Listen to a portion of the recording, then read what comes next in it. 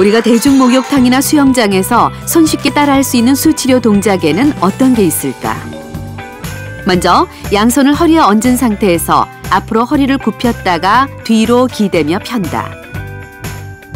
그리고 차렷 자세에서 무릎을 편 채 다리를 앞으로 쭉 뻗었다가 다시 뒤로 올리는 동작을 똑같이 10번씩 반복하면 허리 근육 강화에 도움이 된다.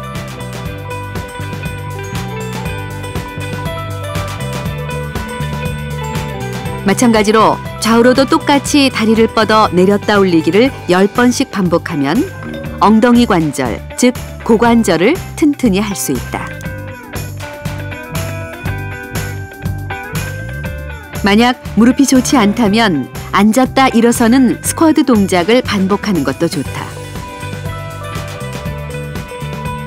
혹은 벽 쪽에 바로 선 후 한쪽 무릎을 굽혀 최대한 당겼다가 뒤쪽으로 무릎을 다시 굽히는 동작을 반복하는 것도 무릎 관절을 강화하는 데 도움이 된다.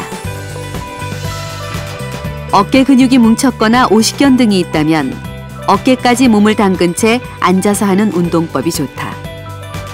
양쪽의 팔꿈치를 굽혀 어깨 높이로 든 후 앞으로 10번, 뒤로 10번씩 돌려준다.